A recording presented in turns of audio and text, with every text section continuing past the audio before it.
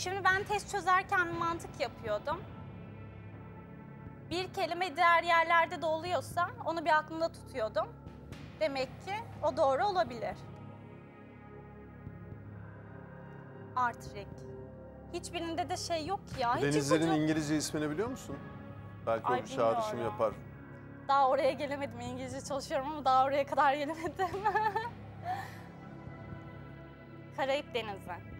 Ya ben Melih'e güveniyorum ya. Melih beni yani yarı yolda bırakacak bir insan değil. Ama yani yanlış biliyorsa da var ya.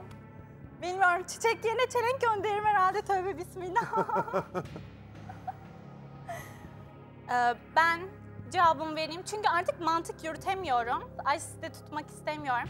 Ben diyeyim ki C diyeyim Karayip Denizi ve Büyük Okyanus eminim son kararım.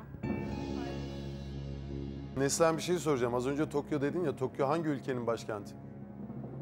Japonya. Hangi harfle başlıyor Japonya? Bir J. aydınlanma göremedim hala da o yüzden soruyorum tekrar. J. J. Ben yine anlamadım. Japonya peki bir ada mı? evet. Dolayısıyla Japonya'da olan bir adamı. Japonya'da olan bir ada evet.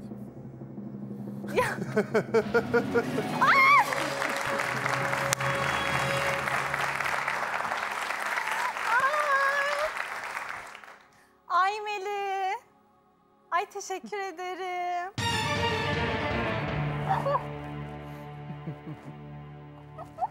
Tebrik ediyorum Neslihan. Ben neymişim ya? Çok zeki bir insanım Evet ben. inanılmazsın. yani zaman zaman dilim tutuluyor. Ee, ger- Gerçekten. Biliyorum. Görmediniz benim gibi. Ben biliyorum. Görmediniz. Ay maşallah bana Allah'ım ya Rabbim. Şimdi şeyi anladın mı peki durumu? Buradaki hangi ülkeler Ya olduğunu, yine- hangi ülke, hangi okyanusta onu anladık mı?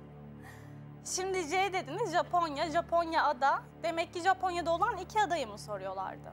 Doğru mu anladım? Soru oymuş değil mi?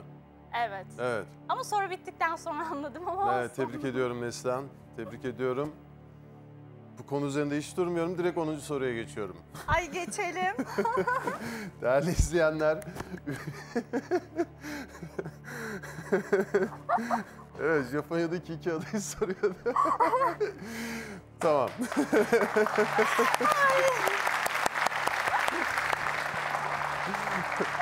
Kusura bakma Neslihan. ama çok üzüldüm, çok kırıldım yani. Neye kırıldın? Bir joker daha verseniz kırılganlığım gider ama. Yo niye kırıldın çok merak ettim. Niye, niye kırdık şimdi seni? Yanlış mı söyledim Japonya'da iki ada? Hala bilmiyorum da. Evet. Neslihan soru şunu soruyor. Türkçe'de Türkçe ismi J ile başlayan iki tane ada ülkesi. Ha. Peki, Şimdi bir sıralı gidelim. Jamaika bu ada ülkelerinden bir tanesi. Jamaika'da bir ada ülkesi biliyorsun. Karayip Denizi'nde. Diğer ada ülkesi de Japonya. Japonya Aa. zaten başlı başına bir ada ülkesi. onu bildim ama. Evet bravo. Bravo. O da Büyük Okyanus'ta. Anladım. Sırada 10. sorumuz var. Değerli izleyenler 300 bin lira değerindeki sorumuz geliyor.